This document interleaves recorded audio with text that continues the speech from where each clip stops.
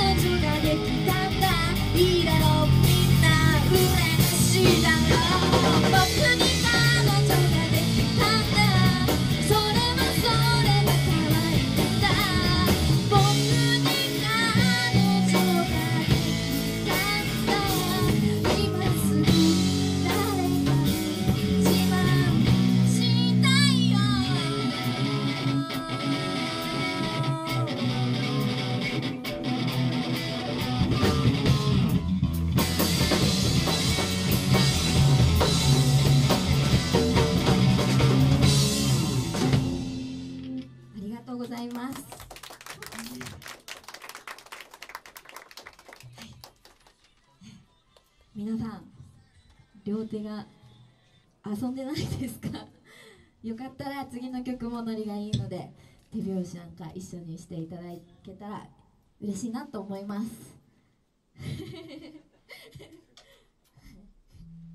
次の曲いきます「ボーイフレンド」